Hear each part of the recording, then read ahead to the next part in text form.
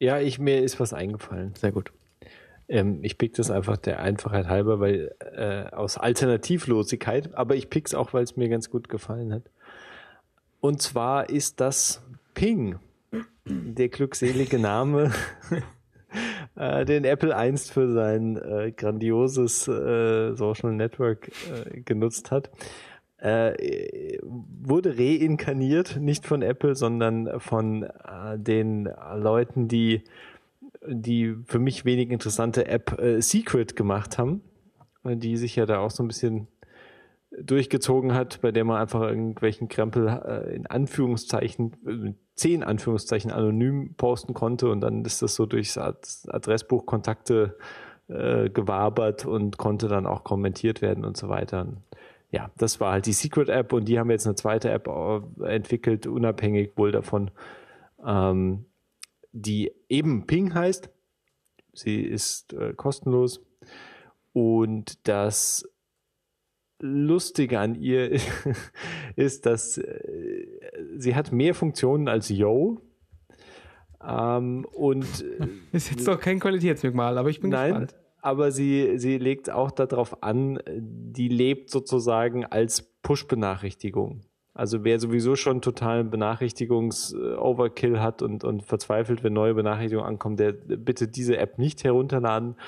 Ähm, Wer aber ja also nichts hat gegen die ein oder andere Benachrichtigung, der kann Ping durchaus mal ausprobieren. Also Ping ist wirklich legt darauf an, auf äh, lebt sozusagen in deiner Mitteilungszentrale hauptsächlich. Und ähm, das Schöne ist, du, du lädst dir die App einfach runter, installierst die und kannst zu einer, ja, ich sag jetzt mal aus dem Bauch raus 10, 20, 10, 15 Themen Skurrilitätsvorgaben kannst du dir auswählen, was dich interessiert. Du musst auch keinen Account anlegen. Du musst dich nicht mit deinem Twitter, Facebook, Schnippi-Schnapp-Account einloggen oder sonst irgendwas. Du wählst einfach nur Themen aus und das reicht halt von totalem Quatsch irgendwie bis hin zu äh, gib mir neue Ereignisse aus Hongkong und äh, so eine Art Live-Ticker mäßig äh, bis hin zu schick mir halt irgendwie Hinweise auf neue Apps oder was halt im Kino anläuft und so weiter.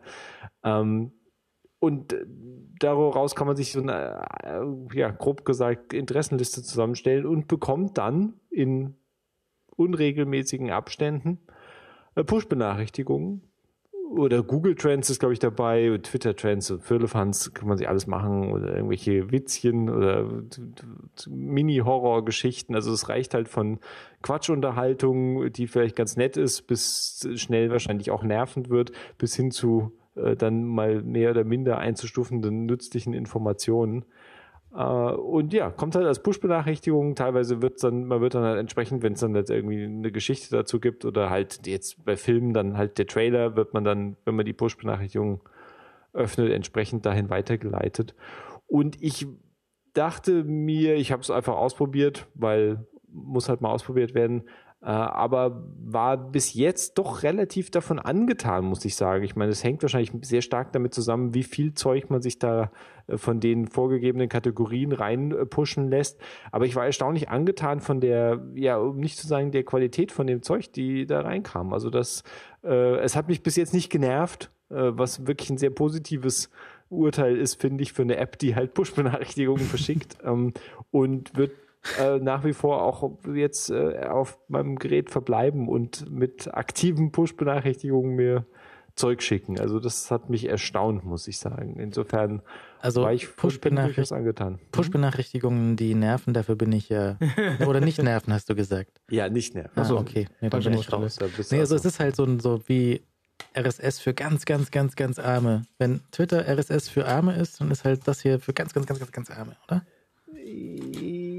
Jein, also das ist, ist natürlich schwierig, das über einen Kamm zu scheren, weil es halt wirklich schon was ganz anderes ist als, als, als RSS oder Feeds im klassischen Sinne. Also ich meine, du lässt ja, also der, der, der Anspruch der, dieser App ist letztlich wahrscheinlich, äh, dir möglichst interessante Sachen zu liefern. Das ist die alte Herausforderung. Das ist ja eine Herausforderung, die RSS ja nie bewältigt hat. Der RSS ist dafür gut, dir das zu liefern, was du abonniert hast, aber ähm, RSS ist nicht gut, dir das zu liefern, was wirklich wichtig, relevant und vielleicht interessant wäre dann äh, automatis in, in einer automatisierten Form. Und das ist ja ein Problem, das noch keiner gelöst hat. Ja, ich meine, Facebook versucht halt mit seinem Newsfeed, in dem halt irgendwelcher Firlefanz auftaucht, der für dich relevant sein soll oder es halt ist und vielleicht auch nicht ist und meistens wahrscheinlich nicht sein wird.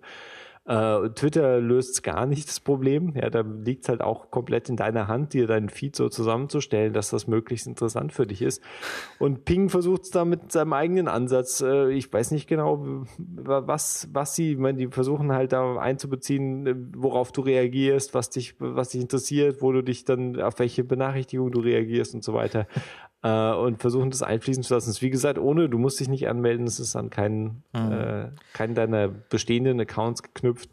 Und insofern äh, fand ich es ganz, ganz nett als Einstieg und wenn, je nachdem, wie die Qualität der mir gepushten Sachen weitergeht, bis jetzt war ich, äh, war ich positiv überrascht davon. Da finde ich ja immer noch seit sehr gut, ZITE.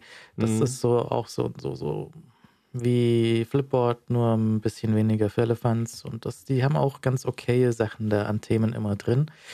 Ähm,